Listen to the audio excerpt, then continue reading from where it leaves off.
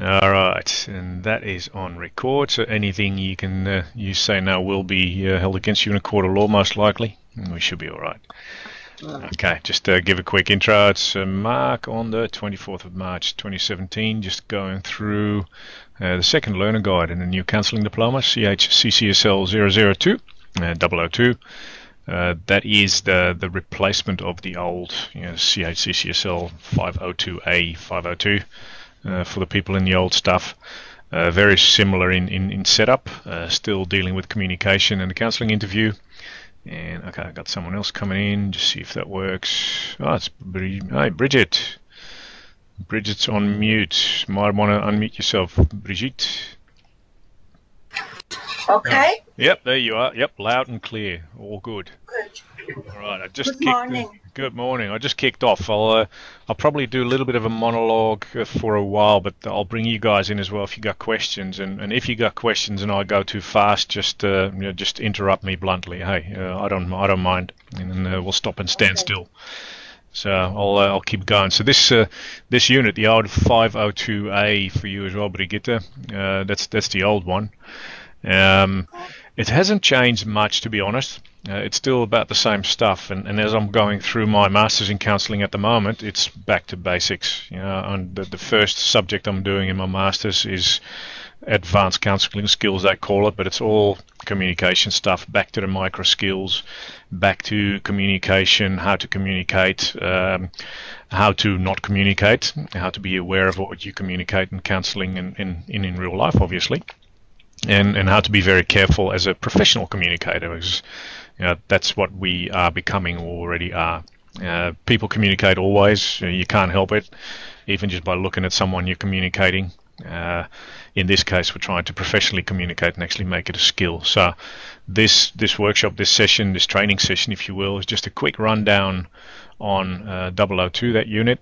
Nothing too in depth. I just want to point out a couple of things that I know are really important for the people who will start off on this unit uh, afresh, not like uh, you two, Dale and Brigitte, who are transitioning. So the people that start off fresh and haven't seen this, I'll point a couple of things out that I really think are important to uh, to remember. And I think we'll be done in about half an hour, 40, 45 minutes. So I'll just go through it. Any questions, just ask. Hopefully, uh, Brigitte, you can see uh, the book on your screen as well, the learner guide. Is that correct? Yes, I can Yep. see him Okay. very small. Yeah, it's. I know it's small. You should be able Should to. Maybe click him? You should be able to blow things up a little bit. Sometimes you can do full screen or, or something. If not, Oh, uh, yeah. see if I you can. will try to figure out. Okay, cool. Alrighty.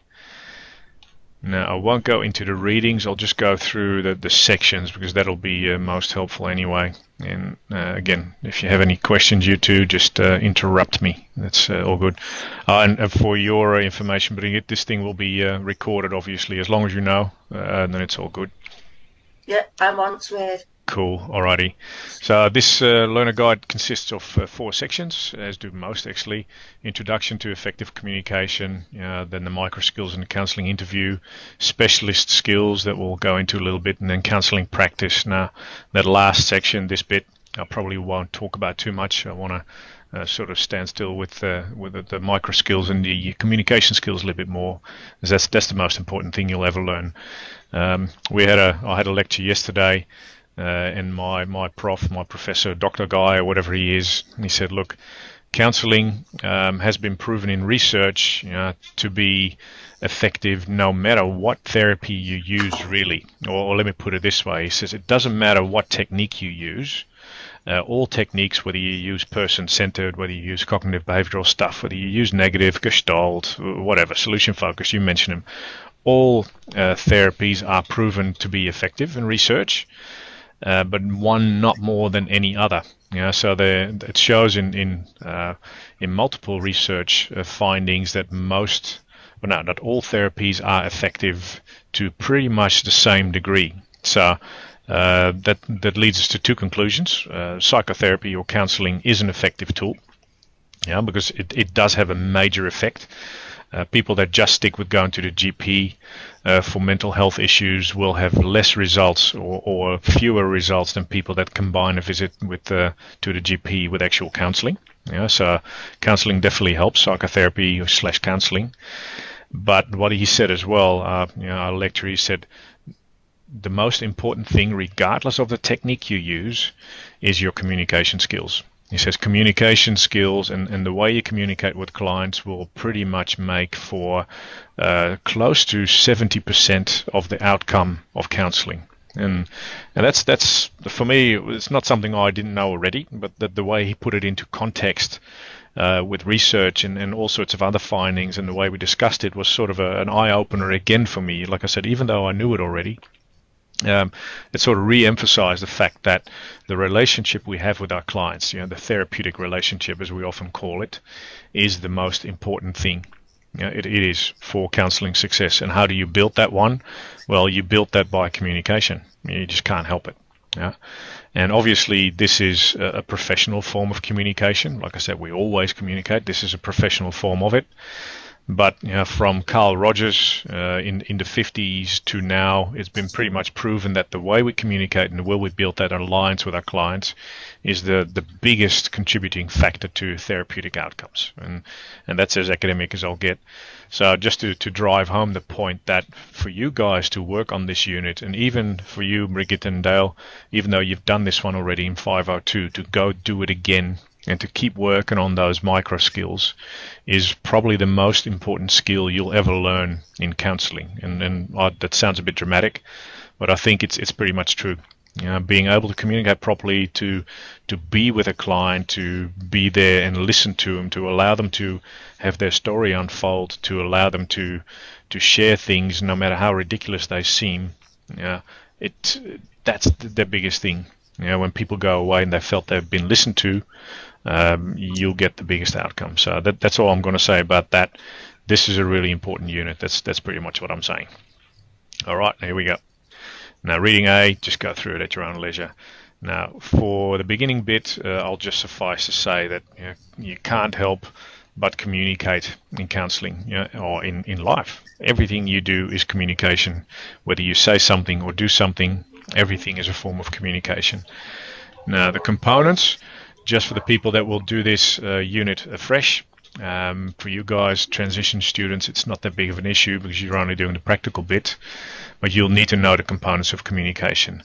Now, just as a little bit of a test, ladies, um, can you still remember the components of communication other than the source and, and the messages, obviously? Can you still remember a couple? I know it's a bit of a trick question putting you on the spot here.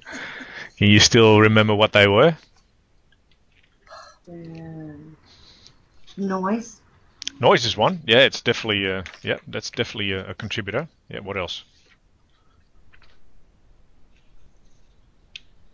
I know I'm putting you on the spot. It's not fair.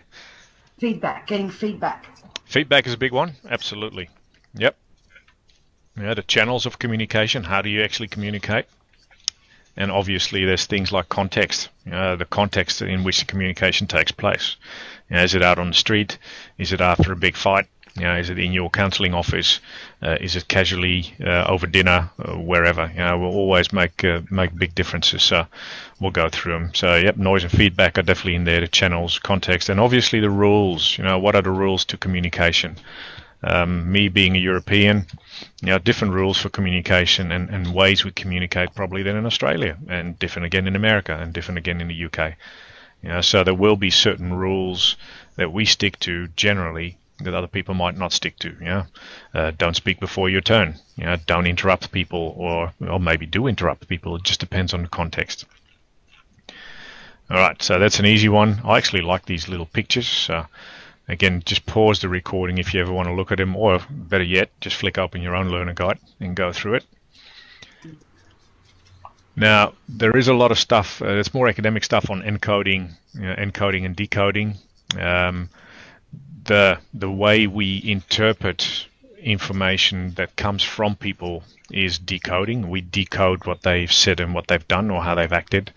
And obviously, the way we try and get a message across to a client is a form of encoding. You know, so if you've got something to say to a client, the way you do that is the way you encode your message? Do you do that visually, you know, with you know, with smiling eyes? Do you do that behaviorally by just using your hands?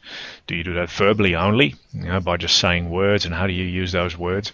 And be careful, hey, in, in neurolinguistics, when I started off in neurolinguistics, uh, the the sort of golden rule was always if a person doesn't understand you, it's on you to to change your communication, not on the other person to try and understand you better, if that makes sense.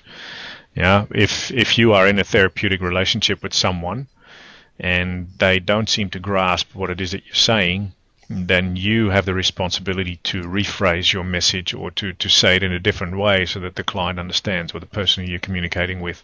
It's not on to the listener to just try harder, you know, especially in, in a professional relationship. And I've always stuck that, know, I've sort of always stuck that when in my brain and go like, yep, okay, always check in with your clients to see if they still understand what you're talking about because you could have a, uh, on the surface, a really good conversation, but both live in parallel worlds yeah, and your client might come away with, I didn't really understand a word this guy was talking about.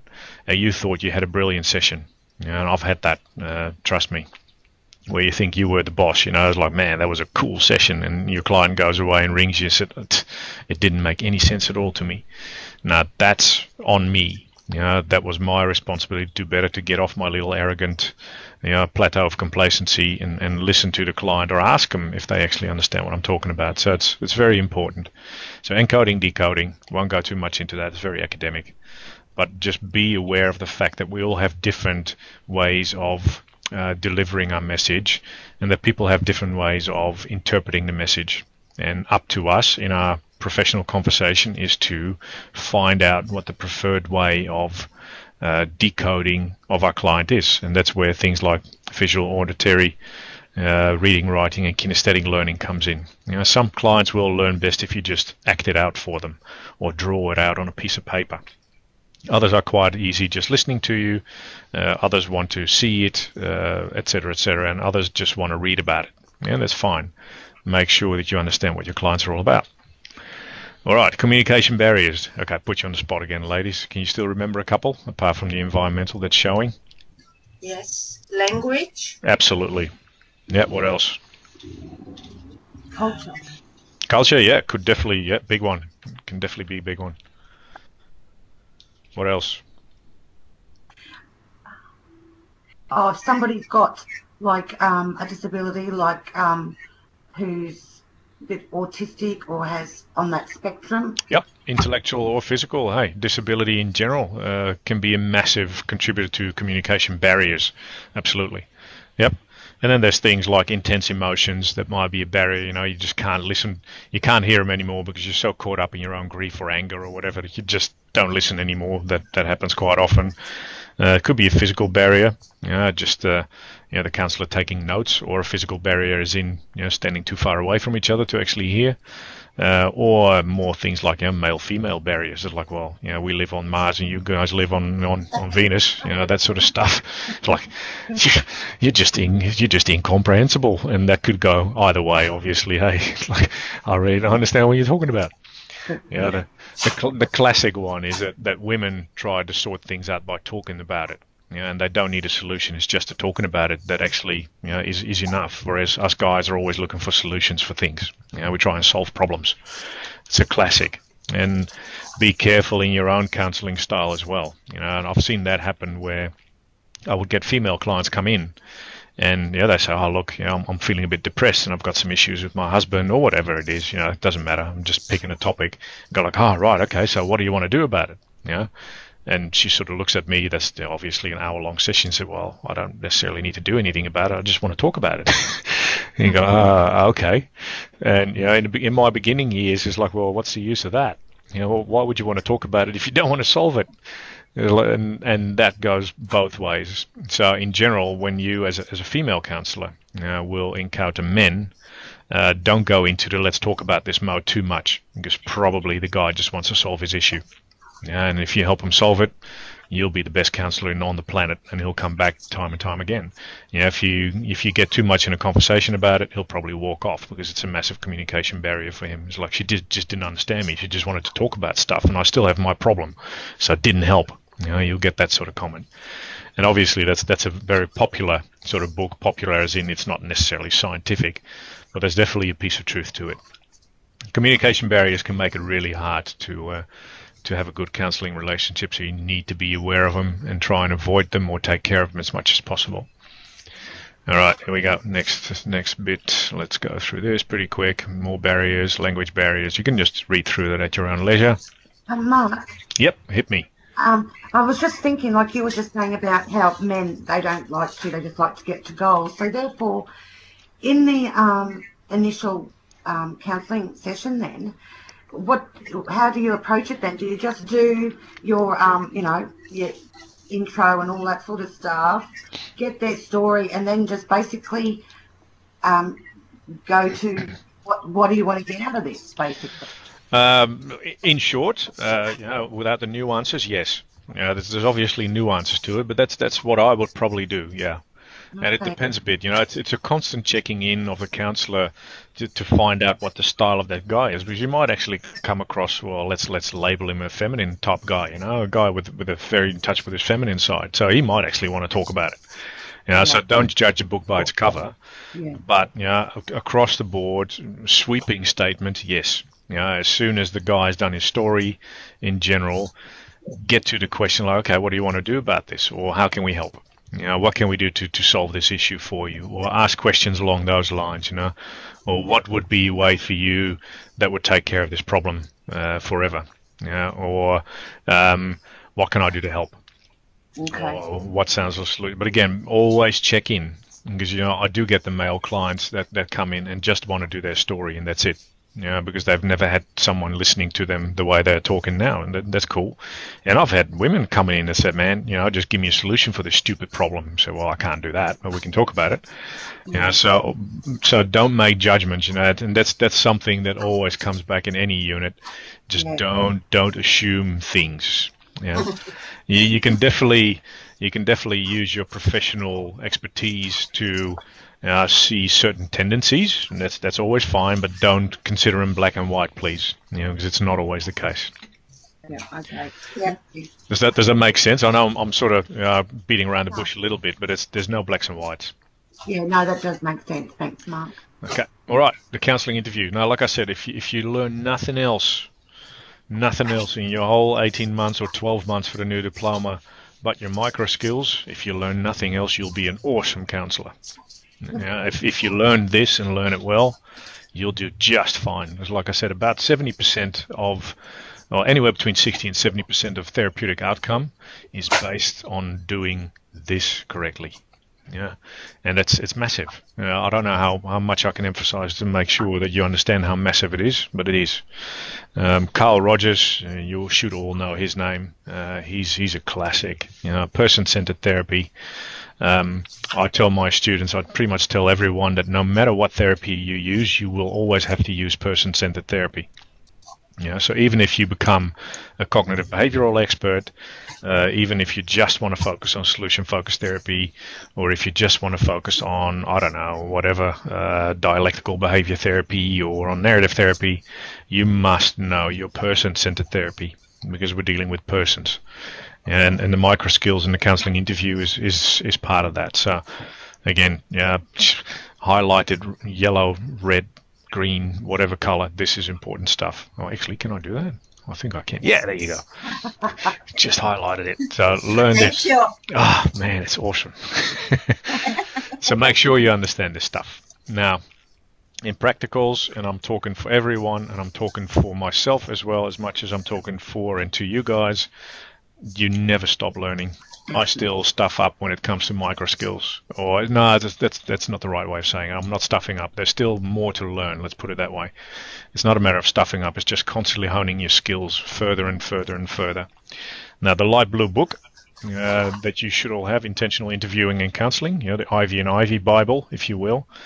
Uh, that all deals with um, with micro skills and, and how to develop them. And they have a book written on that, and I actually got it in front of me. That's worth close to 450 pages just on micro skills, on how to communicate properly with, with clients.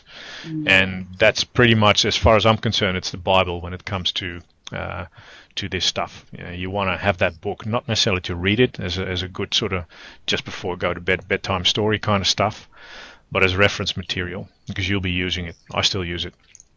Um, Now they come up with a with a five stage model. Know, it's uh, and you can you can see that in there. Um, uh, it's it's a model that's used quite frequently, and it's a good model. Uh, it works a treat. You know, you develop the relationship. You know, you do the stories and strength stuff. You do the goal setting. Then you do the restorying, as in you know working on it, and ultimately you'll come up with some form of action. Um, there was another uh, lady uh, not another lady. There was a lady who actually came up with a, a more three-step based model, which was a little bit easier to do uh, than the, the Ivey and Ivey one. It's called the skilled helper model as well. Um, it's like storytelling, finding out needs and wants, and then uh, implementing action strategies. And, and, that's pretty much what you'll do through each session, but also as part of your whole session package, if that makes sense. You know, your whole session package. If you see someone uh, anywhere between six and ten sessions, the first two and three might be on actually letting the story come out. Yeah, and then the, the second set of three might be on, okay, what are we going to do about this?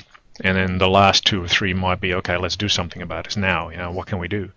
But each session, as such, in a sense, is similar. You know, each session individually is okay. Gather some more information.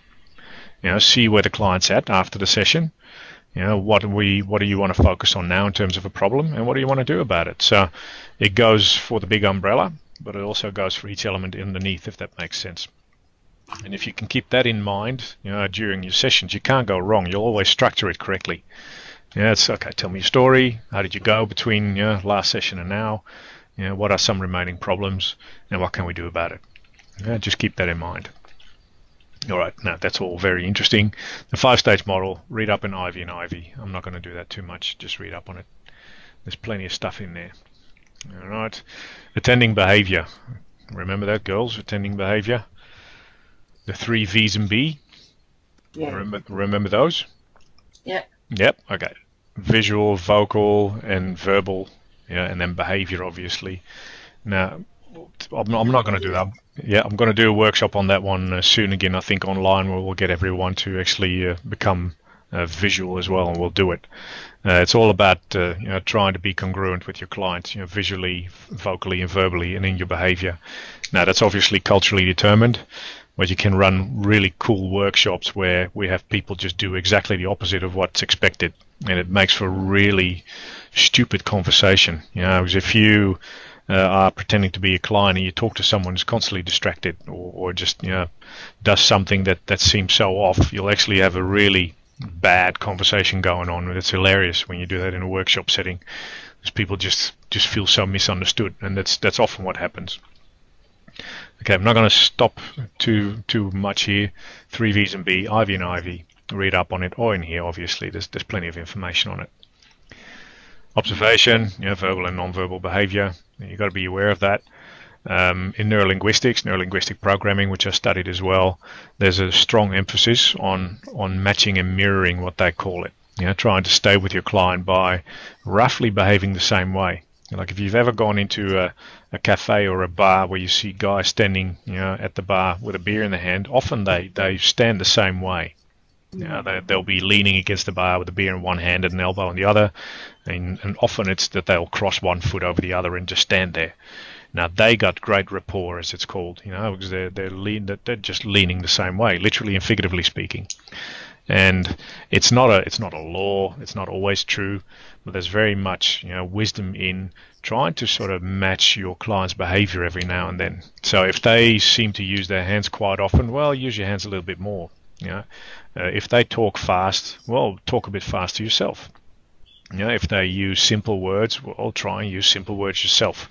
You know, try and, and move that and be be very aware of, of annoying behaviors as well. Hey, uh, like clicking your pens or tapping your fingers or whatever. I, I don't like those. It, it, takes away from the session. So there's a lot on that one. Read that. Um, okay, this uh, mirroring. Um, oh yeah, mirroring is, is the stuff that I was talking about. That's that's often what you can do. Have a read of that one. It's it's interesting stuff. Now, questioning, then we'll go a little bit deeper into that one. Obviously, open and close questions. I'll make a note of that one because that's what I see um, done, let's call it, uh, insufficiently in practicals quite often, where too many people, and I, I stick my hand up, too many close questions. You know, it's like, have you, are you, did you, um, would you like to, uh, where is it? You know, simple answers. Uh, generally, that doesn't allow for good conversation with clients. You know, the, the words that you want to ram in your head and want to start every question with are who, what, where, when, why, and how. Yeah, who, what, where, when, how, why, and how. And I think a good exercise, and that, that goes for you too as well, still, is to uh, try and, and try it out in, in general practice. Try and ask only open questions of everyone. You know, so uh, did you did you come in late yesterday evening? No, instead of that, ask what time did you come in yesterday evening, or uh, did you put you know, did you put the, the knife in the drawer? No, don't ask that. Just ask, where did you put it? You know, just make every question that you can ask, make it open. Did you actually talk to them? No. What did you say to him? Yeah, so a good exercise to actually you know, get your open questioning going is just to, to force yourself to do it in in, you know, in, in normal casual conversation. Try and open up every question with a what, where, why, when, how. It's it's tricky, but it can be done, and it's it's interesting because it does allow for you know, what they call here deep exploration. You know, it, it just makes the conversation so much easier. Uh, a problem I see students have in practicals as well quite often is that they can't get to the half hour mark. It's like, oh, my practical was only 20 minutes. Like, well, that to me just means that you haven't asked enough open questions. It's really simple often. Know, just get the story out. In a, in a popular way, I always say, look, make this a Sherlock Holmes inquiry. Just get the story out. Just more Sherlock Holmesing, more questions, more questions. There's always more that you can learn from clients because that gives you, as a counsellor, you know, the bigger picture, and that allows you to come up with a good case conceptualization, and then also a good way of helping that client forward. Any questions on that for you too, or all clear? No. no. Yeah, all clear. Good. All right. Yes. Ways you can go wrong with that, obviously, is bombarding and grilling. You know, I've done that. You know, question after question after question after question. You know, and, and multiple questions in one sentence. You know, where did you go and what did you do?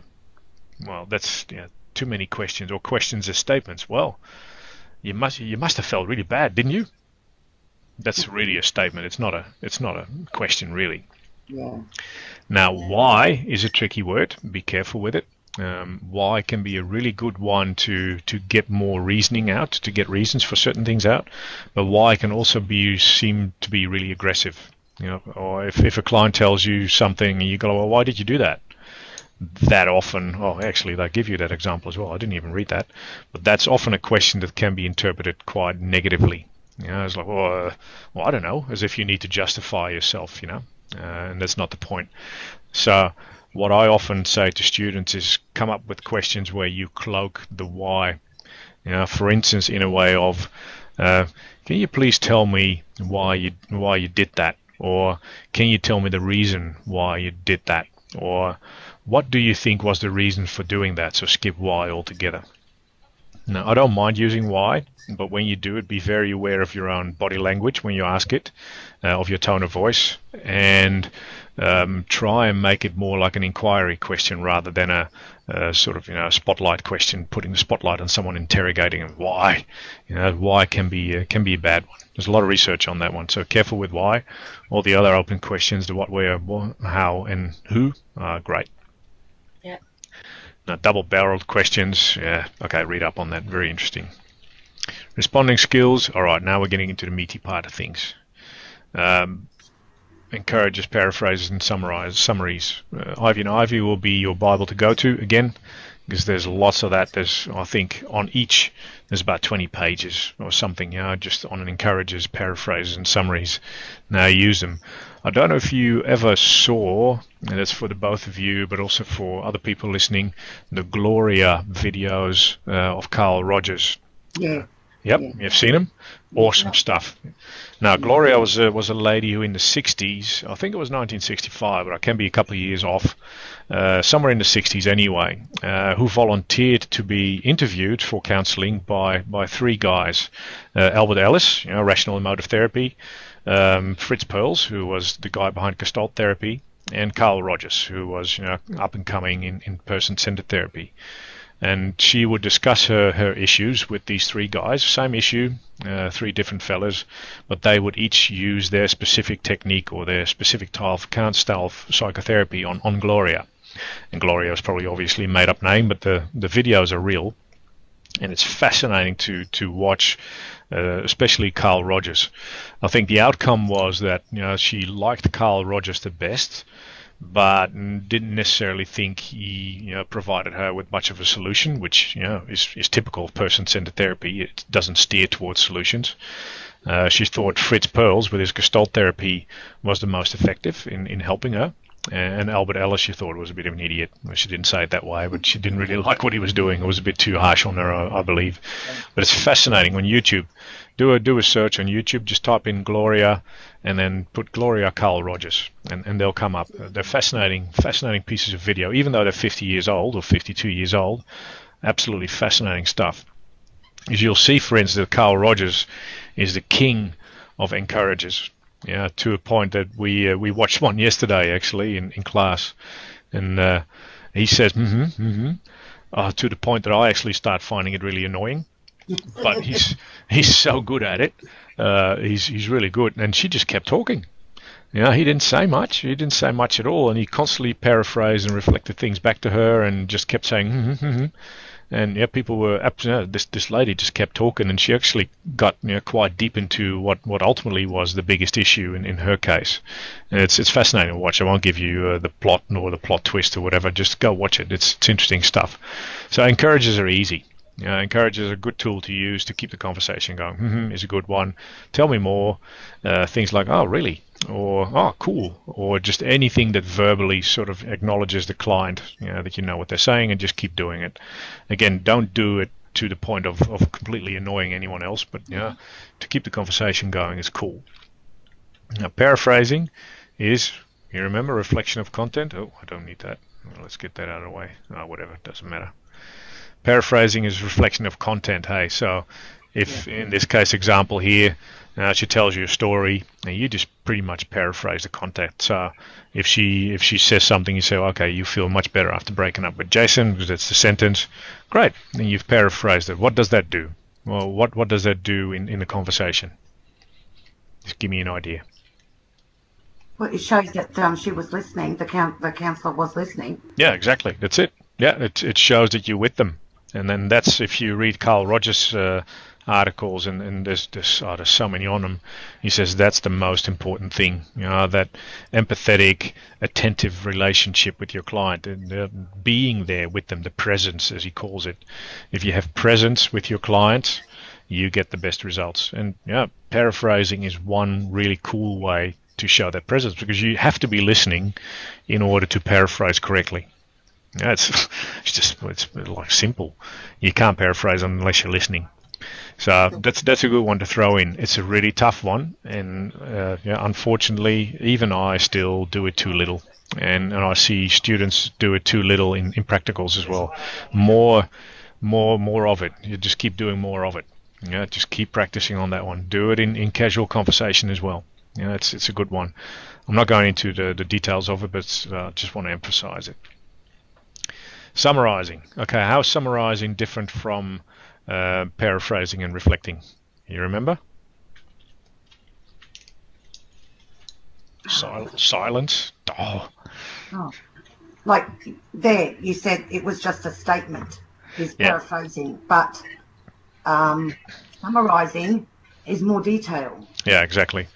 Summarize is, summarizing is actually a form of reflecting or paraphrasing. It's just there's more in there. Yeah, so you do it a little bit later in the piece. Um, if, if someone tells you a paragraph, you know, they say something, then you can pretty much paraphrase or reflect a feeling back. Uh, you can only summarize after you've heard a couple of those paragraphs.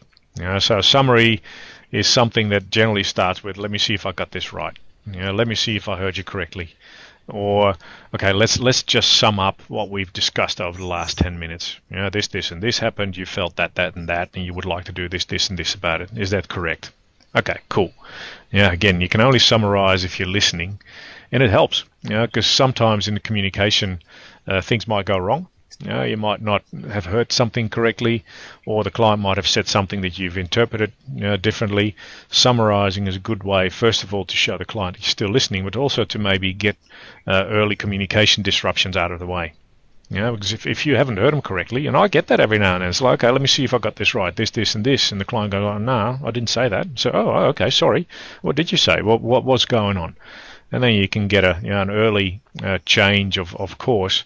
Whereas if I just assume that I've heard them correctly and just keep going, oh, we might start running parallel tracks, and then I lose my client. You know, it, it, doesn't doesn't work that way. So summarizing is a good way. Again, in practicals, do it more often. Focus on it because we still do it not often enough. And like I said, everything I tell you guys, I'm sticking my hand up as much because I can still learn more. Noting and reflecting. You know, reflecting is is an easy one. Uh, it's, it's like paraphrasing, but it's more a, you know, a feeling one. So you you, know, you you reflect back to the client how they felt. You know, generally, I say, oh, okay, the story comes out and say, oh, look, look, you must have felt really, you know, you must have felt really angry, or you must have felt really bad about that.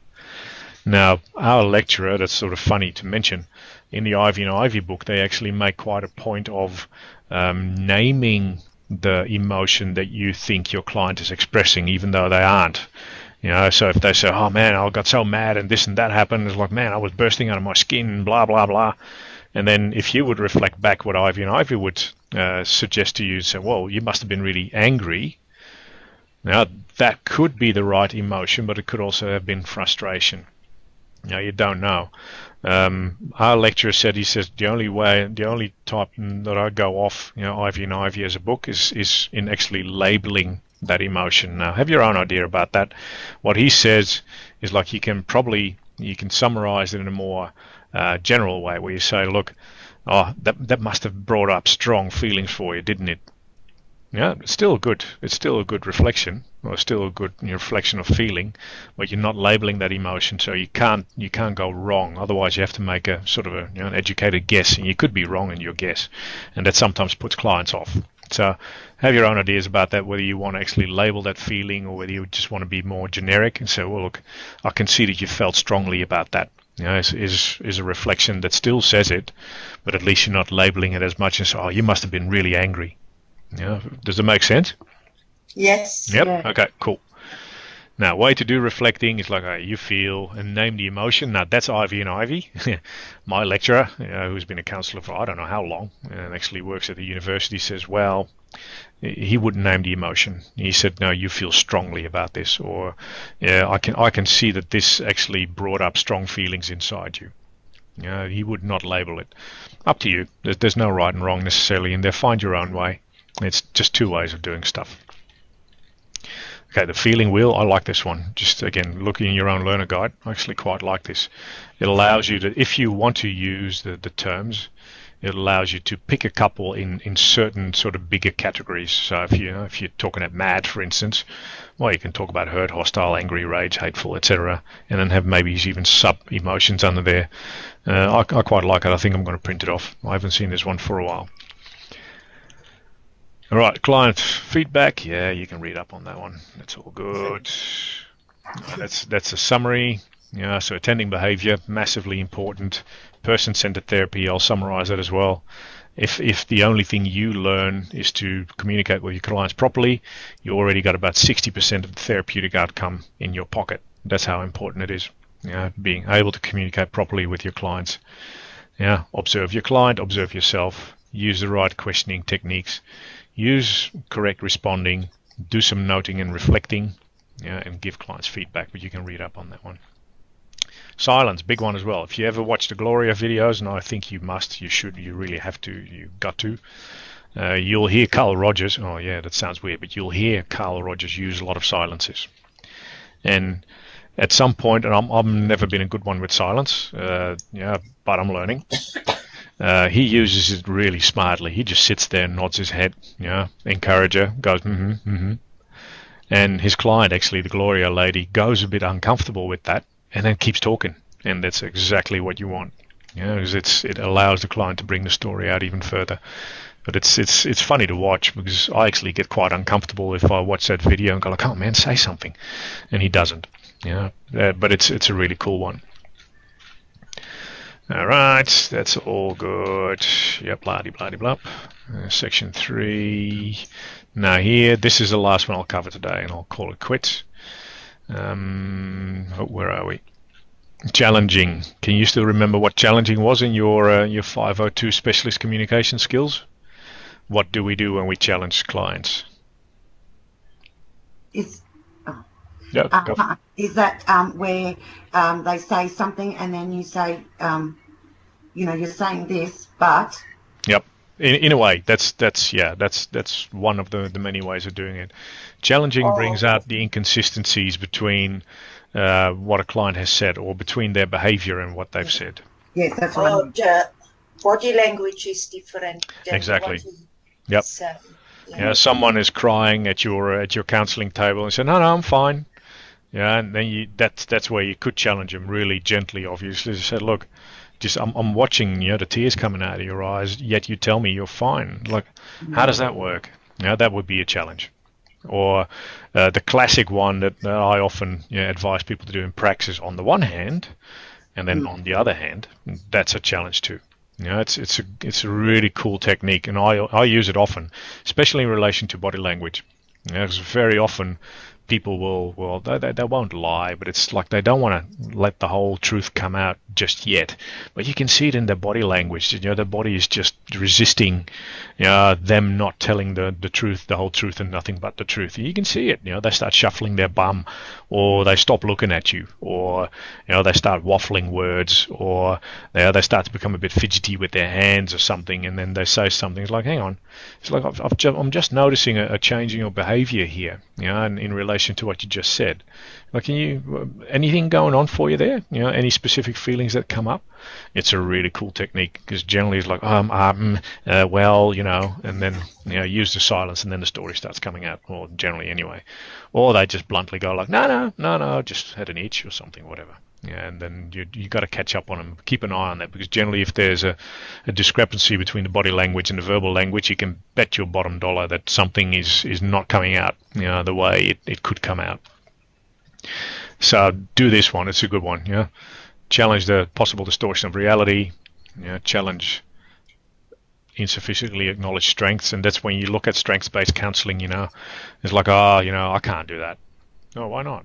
Or oh, I've never been able to do that. So, well, okay. When were you actually able? Have you been in a situation before, and where, that you actually had to use skills that you didn't think you had, and, and you found them in the end? Have you been in situations like that before? So, well, yeah, there was that one time. So, okay. You know, so, you know, if you look at strengths based, you know, there's that whole idea of uh, finding a strengths based in clients, which which you know is very much solution focused, obviously. You know, always try and find resources and strengths in clients. And they might say that they haven't got choice, whereas you know ultimately we all have choice. Even though it's a tough choice sometimes, we, we always have choice. Like, oh, I can't do that anymore. You know, I'm too old, or oh no, I got a mortgage now. I can't I can't change that anymore. So well, technically you can. You know, but do you want to? That's that's the question. So use challenging. It's a cool one. All right, uh, let's go for that one. Focusing. Remember what focusing is? Pinpointing things. Hey, it's just putting a putting a spotlight on something. Yeah, it's like okay, out of everything we discussed today, you know, Dale and Brigitte, you know, what would you like to focus on first? You know, that that'd be a good one to ask. That's a focusing. So it could be on you know the client or the, the actual issue or other people or you know on, on the relationship with the counselor and on feelings in the here and now. Focusing is cool, um, and that's where your professional capability comes in because often clients will just waffle on and they have all sorts of things. And generally, as a defense mechanism, you'll find that people will will go off on tangents because they really don't want to discuss all that sensitive stuff. You know, they just don't want to, and then their subconscious defense mechanisms bring makes them bring up all sorts of stories and all sorts of extra bits and pieces that are really not re- that relevant. Know, but they'll just bring them up because they're sort of, know, they sort of don't don't want to touch the hot stuff. Know, it's they just don't want to. Then it's your job to say, look, I heard you talk about this, this, and this, and this you know, a little bit earlier, but we seem to have gone off topic on that one. Mm, would you mind if we just bring it back to that? And go, oh, well, okay then. And then you can get to the juicy bits, you know, which are generally in there. So focusing is a really cool skill to have as well. I won't go into detail, just read up on it, but it's it's one you definitely want to put in your in your toolbox. Reframing, that sort of CBT-ish, hey, very cognitive behavioral. Uh, try to help people to give a different interpretation you know, to things that have happened. There was a classic in the student uh, in the student assessment guide, I think, where something had happened, or someone got fired, or someone, uh, or actually had a no, not fired, but they had a, a bit of bit of a fallout with their boss, yeah, and then they thought they were going to get fired. So the fact that they had a fallout with a boss must have meant that they were going to get fired really shortly. Yeah, can be true, but very often, you know, it's just a misinterpretation of, of facts. And so, well, what else could be going on uh, that might have caused this reaction. And then think about that. Well, you know, the boss might have just had an off day, or you know, whatever. The company might have been in some financial issue, or or he had just had, you know, he just had a bad day in general. Know, just this, there could be all sorts of reasons. And helping a client to reframe certain things or to reframe an interpretation can be a useful way to actually start seeing their problem in a different light as well. You know, my my mentor, a lady I go and see fairly often, she's really cool at that. She she just constantly does that, and her standard question to me is like, "What's the payoff?" You know, as in, okay, what's the upside of what you're actually telling me? You know, she always gets me with that one. It's like, oh, you know, Gene, I've got this and this, and I got problems there and there, and that's not working for me, and blah blah blah blah blah. And then her simple question is like, okay, well, what's what's the payoff, Marc? You go, ah, you with your stupid question again. Now I have to start looking at actually how things are working for me it's a great way to focus me back on you know, the, the, the other side of the coin, really. So it's, it's a cool tool to have, uh, an interpretation. Um, counseling skills in action, yeah, that's all right. That's all cool. Now, self-disclosure. Uh, how are you going to use that one? Can you remember? Yes, uh, you give over an example or experience you had. Yep. Very good do it very mindfully and do it very subtly and, and do it very sparingly. yeah, the, this session is about the client. It's not about you. Uh, our lecturer actually says that he doesn't really do much, you know, self-disclosure at all, and obviously that's just his opinion. It doesn't matter, but he says be careful about it because very often we have a tendency to make it about us. You know, so the session turns into, uh, oh well, let me tell you about one story that I had that was very similar to you, and then the counselor starts talking for about ten minutes. You know, that's not the point. The point is to say, look, I, I can understand how you feel. You know, I went through this uh, similar situation about ten years ago, and even though I can't understand how you exactly feel because you're different, you know, I know it must be hard. That's enough. You know, that's enough self-disclosure already. Sometimes you can do a little bit more because it builds great rapport. You know, if you can find a common ground somewhere, uh, that's really cool. But very often you want to be careful with self-disclosure because it needs to be about the client, not about you. And that is about it, I think, for that one. Again, massively important. Now, I'm not going to go into this one too much in detail, actually. I don't think I'll go into it at all. Human rights, no, just give you an idea on ah, self-reflection. Yeah, very important. Um, reflect your own practice. Uh, if anything, do self-reflection and talk with your supervisor quite often. Uh, it's, it's, a necessary thing to make sure you stay on track because we all have blind spots. Uh, I know from experience, you know, to to do some self-disclosure here.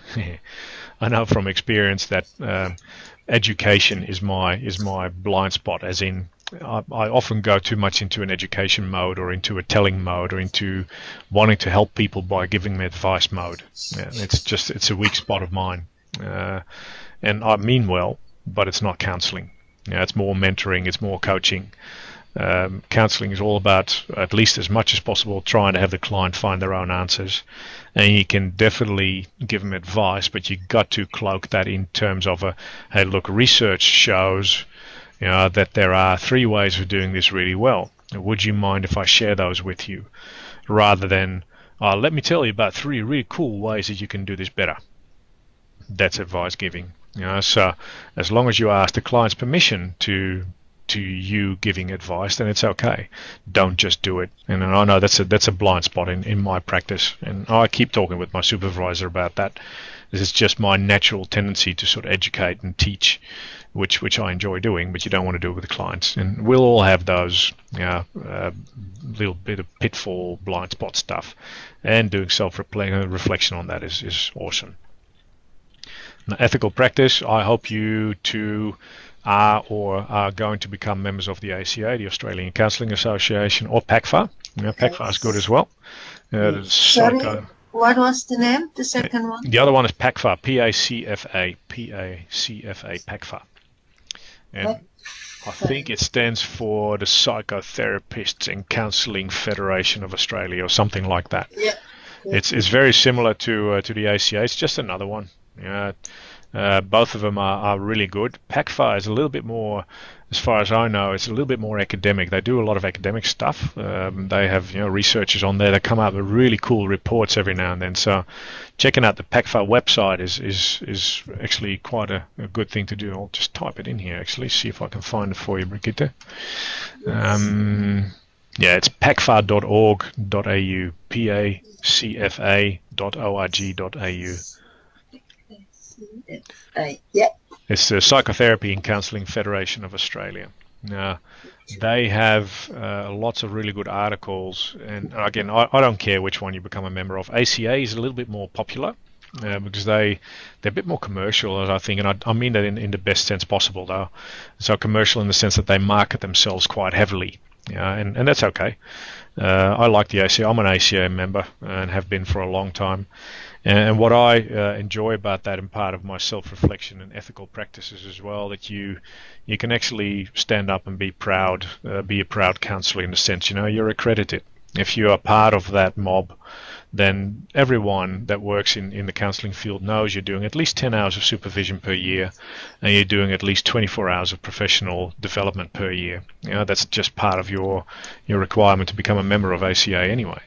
So it's a, it's a good thing to, to have. Uh, I don't know what their requirements are, but they must be as, as stringent or maybe even a little bit more strict. So either or. And then there's also ARCAP, A A-R-C-A-P. Now that's just a register. That's not an organization. But everyone who's a member of uh, the ACA or PACFA will also be registered in, in the Australian Register of Counselling and Psychotherapists, I think, or counsellors and psychotherapists. And that gives us, uh, as an industry, gives us good credibility. You know, I think if you are part of an organisation that has an official register of registered counsellors, uh, then you're doing a good thing because you know counselling still, uh, as per the 24th of March 2017, is still an unregulated industry. Anyone can just buy a shingle, hammer it on their door, and write counsellor on this, on it, and no one can stop you. You know, it's so being part of uh, being a registered counsellor, calling yourself a registered counsellor, uh, means that you are registered, for instance, with ARCAP through the ACA or PACFA, and it gives the industry a bit more oomph. And I find that part of, of an ethical practice. I think we all should do that because it means that at least you comply with the minimum quality standards, and, and that's a good thing. And we should do it already now, or should we wait? Well, you can. Hey, no, you can become a student member. So for all the students, you can definitely uh, start off in a student membership. Uh, a little bit cheaper as well, uh, but you're definitely yeah, so you're definitely already a member. Uh, yeah, no, do it.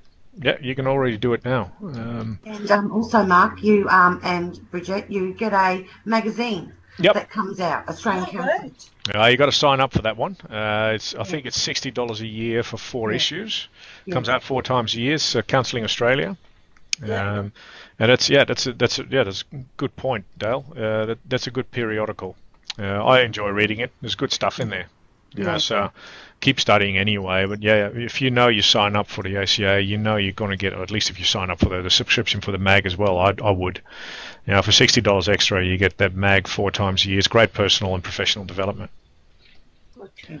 So yeah, look into a student membership. I think uh, I've have a, I've got a couple of classroom students here that are uh, already student member of the ACA. Works a treat.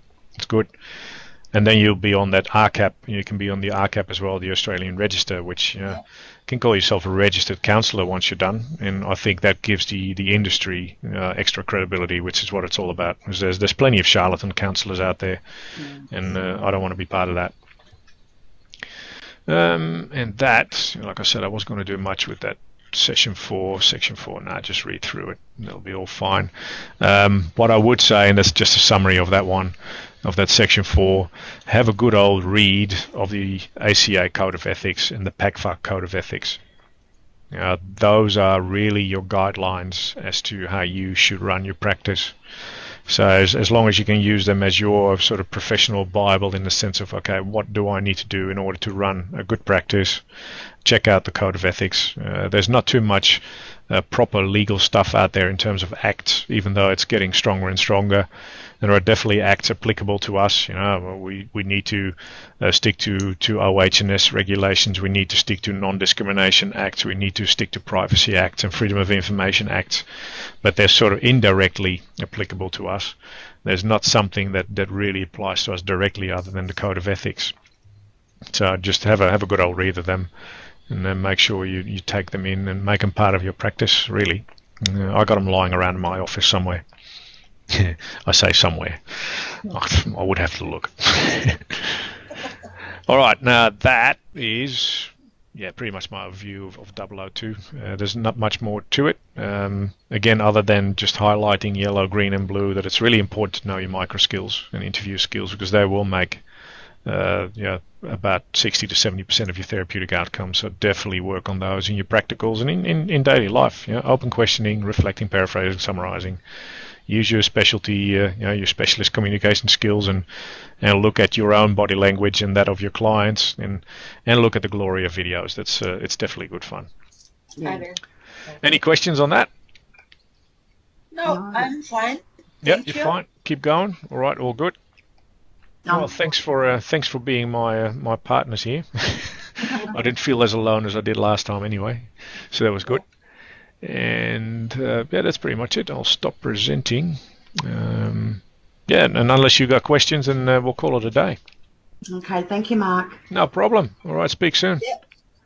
Thank you and have a great weekend. You too. See ya. Bye bye. Bye.